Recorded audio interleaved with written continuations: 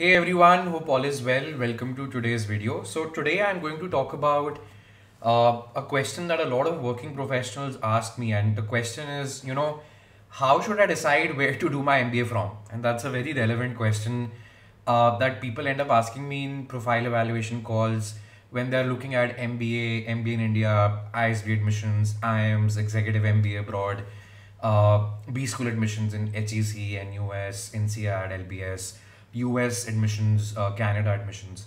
So I think uh, I'll divide it into a framework and I'll request you to watch the video till the end because uh, if you apply that framework on your own MBA decision and destination, then I'm pretty sure it will help you out uh, in narrowing down on a set of B schools that you should target. Uh, but before I get started, I'll just request you to uh, hit the subscribe button if you haven't uh, followed our channel till now and if you found our videos and content to be helpful your support really really means a lot. Uh, but yeah let's get started. So in terms of framework i think there are three things which really decide uh, where you should do your mba from. Firstly i think it's a very very uh, important derivative and function of your goals.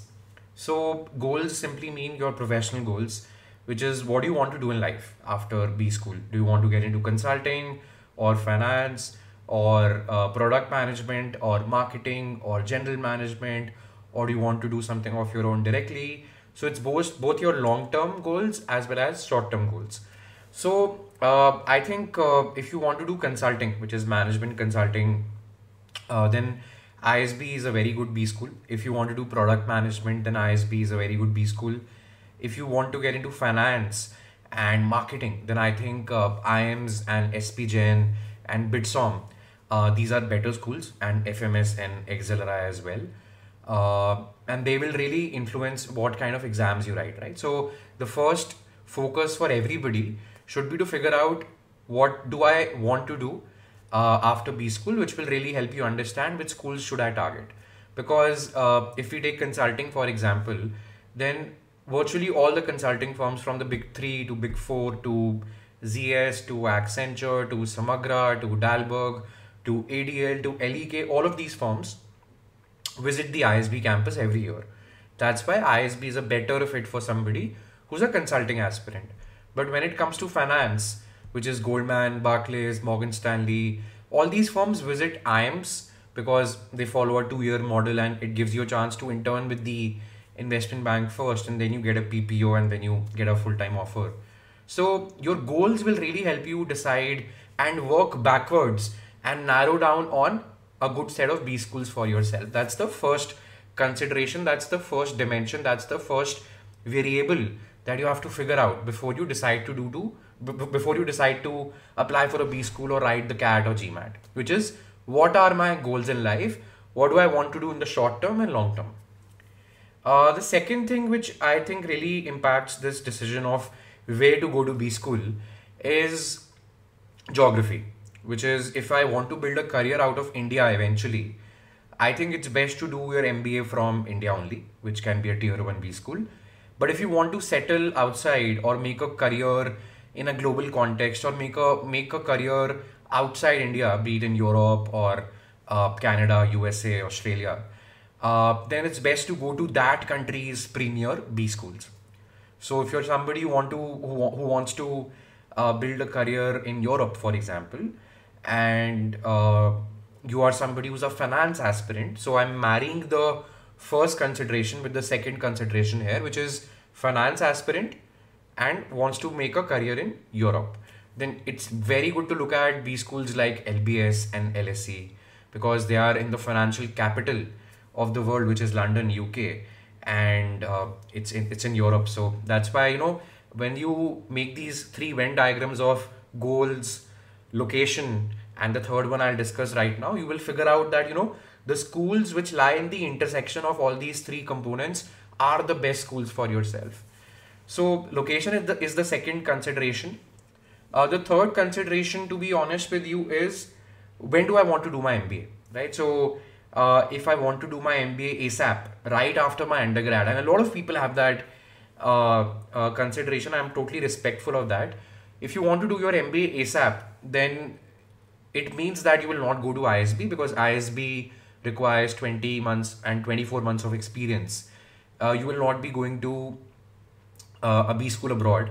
And here I'm not talking about MIM, I'm talking about MBA programs. You will not go to a B school abroad because B schools abroad also require at least some work ex, two, three, four, five, six years of work ex.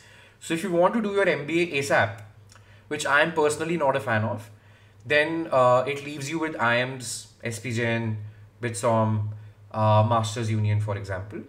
Uh, if you want to get some work ex and then do your MBA, which I personally prescribe to, I firmly believe that you should get at least one and a half, two years of work ex uh, before you do your MBA. And I've made a video on that as well.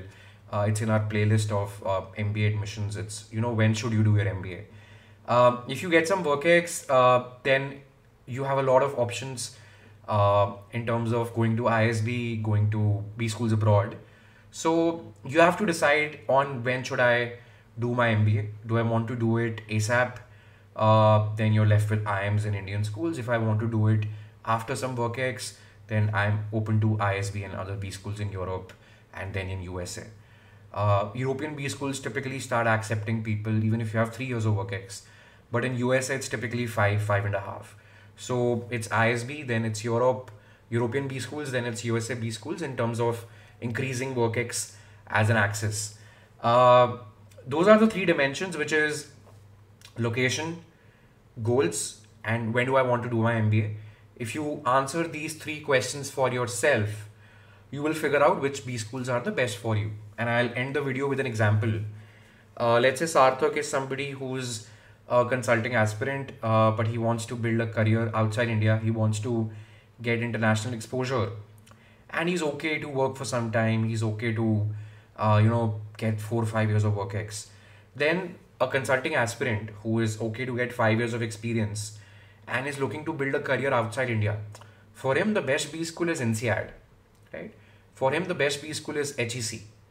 For him, a good B school is Darden or uh, Columbia for that matter, or Chicago Booth, because all these schools which I mentioned two seconds back are very good schools for consulting, which is Sarthak's aspiration, right? So you uh, answer these three questions for yourself, or reach out to me and brainstorm on what should be the answers uh, to these three questions. Once we get those three answers, we'll figure out which B schools are the best for us and when should I apply, what should I optimize for in my profile, which exam should I take, what should be my target GMAT score. Everything is a derivative of the answer that you get in terms of which B school should I go to, which in itself is a function of goals, which are professional goals, location, and when do I want to do my MBA. I hope this helps you. Thank you.